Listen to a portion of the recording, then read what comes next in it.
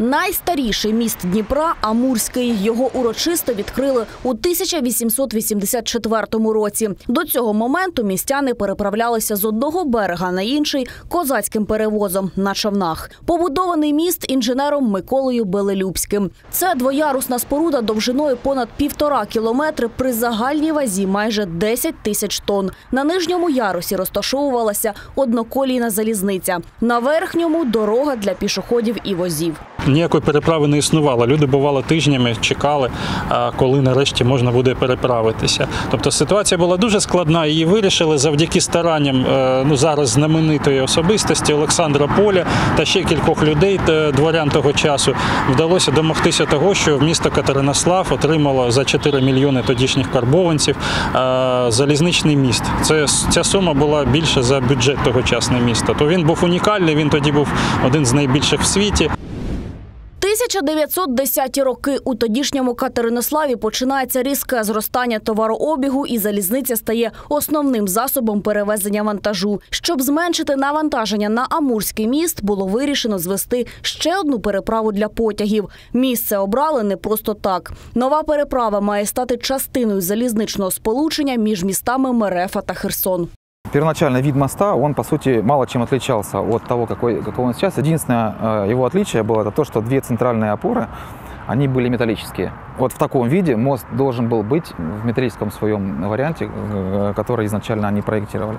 Мерефо-Херсонський міст став справжнім проривом у мостобудуванні, кажуть історики. Це перша у світі залізобетонна переправа. До того ж, у нього є ще одна особливість, яку на той час не мав жоден міст у світі надводна поворотна траєкторія.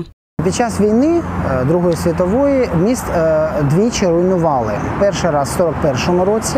Потім його цікаво, що відновили окупаційні війська. В 1943-му він знову був зруйнований під час боїв за визволення. І тільки в 1951 році, в грудні, він був зданий знову в експлуатацію. Після другого зведення у 1951 році міст не змінювався і залишався таким, яким ми бачимо Мерефо-Херсонський сьогодні. А за моєю спиною знаходиться південний міст. Його будували поетапно. Загалом з 1982 по 2000.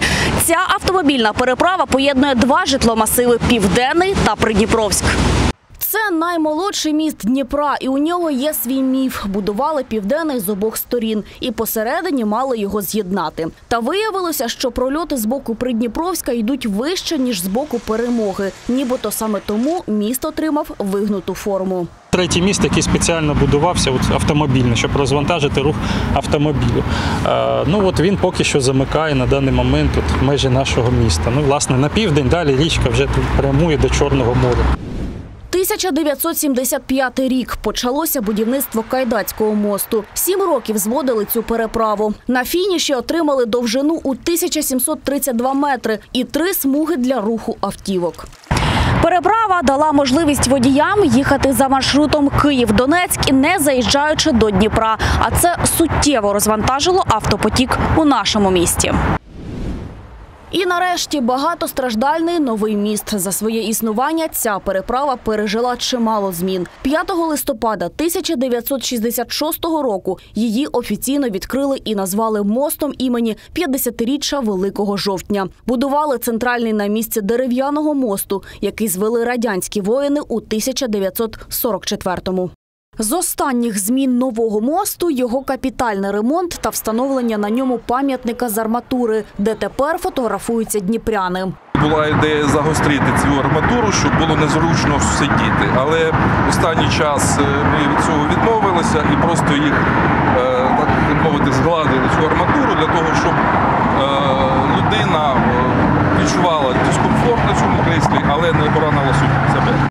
Загалом у Дніпрі розташовано близько двох десятків переправ, різних за розміром та призначенням. Та саме візитівкою нашого міста є ті п'ять, про які ми розповіли у матеріалі. Аліна Мирко, Костянтин Кесар, Андрій Ковбаса, Open News, телеканал відкритий.